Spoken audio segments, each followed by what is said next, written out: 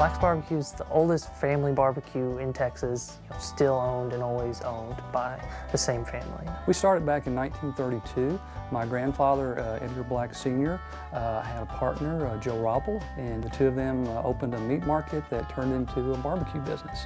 I think it's what our family does. Some families are doctors or some family are in the real estate business. And here at Black's, uh, we have four generations working the business now. Uh, hopefully there'll be a fifth generation not long. I pay attention to my dad and he is still the guru, the source of how we cook and how we develop all of our barbecue. We are the barbecue capital of Texas. I think Lockhart is unique because we have stayed true to our original barbecue roots, so to speak.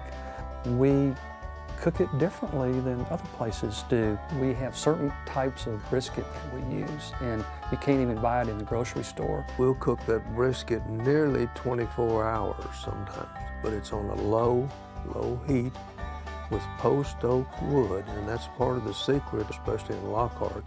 Everybody uses post oak wood. It gives the, the meat a different flavor than the mesquite wood or hickory wood. A lot of people make a barbecue pilgrimage to uh, Lockhart.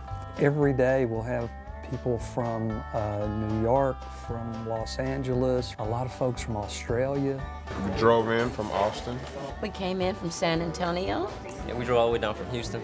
Whenever we ask about barbecue, people say go to Black's, so we go to Black's.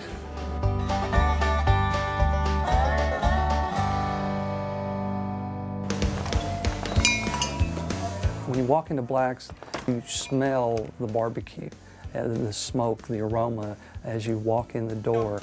You're going to see a place that hasn't changed a whole lot in 80 years. The first thing that you see is pictures of all the history on the wall and um, articles that tell you about the long-standing wonderful reputation of Black.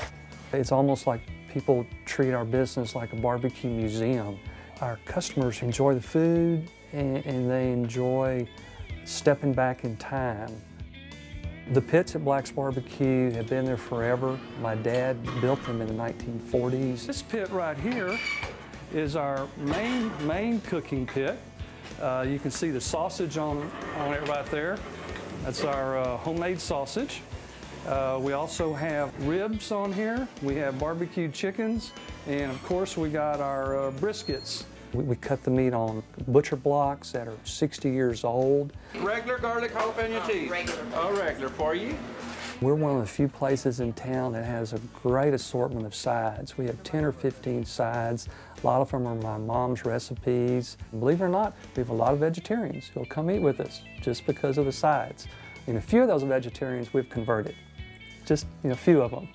Usually when you go to a barbecue spot, it's only, you know, the bread, the chips, the crackers. Here you have the green beans, mashed potatoes. I mean, there's a long list of sides that you can actually pick and choose from. So I'm totally delighted at that. Lean side or the marbled juicy side? Juice, juicy side, okay. To me, coming Black's is coming home.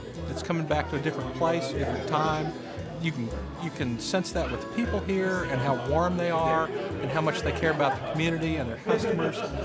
It's the real thing, and you can't beat it. They've got a sign out front said they've been running this place for 77 years now, and uh, I mean, any place that's been continuously running for that long, you know it's worth it. A Family-owned restaurant means family food, you know, good home cooking, and which is what we're looking for when we want to go out to eat.